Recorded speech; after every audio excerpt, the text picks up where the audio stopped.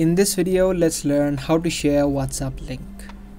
If you're also trying to send your personal link of WhatsApp where people can easily connect with you on WhatsApp, then in this video, I'm exactly going to show you how you can find and send your WhatsApp link to other people.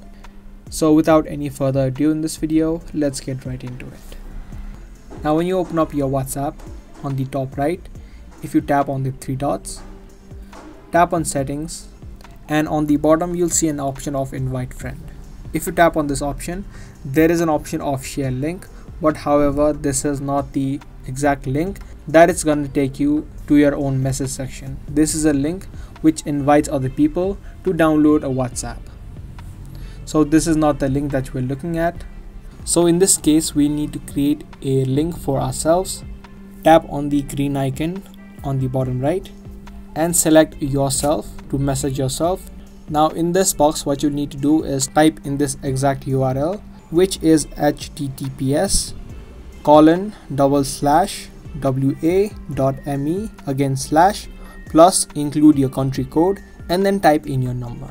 Now this way your custom link will be created. Now you can just copy in this link Tap on copy and you can now send this link to anyone on any platform. And when someone taps on this link, they will be directed to your message section or your chat box on WhatsApp. So this is the option which you don't find within the WhatsApp. You'll need to create your own link and share it with other people.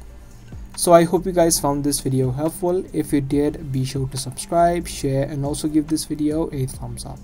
If you want more videos just like this, make sure to turn on the notifications so you get notified for more interesting video. That's all for this video and I'll see you guys in the next one.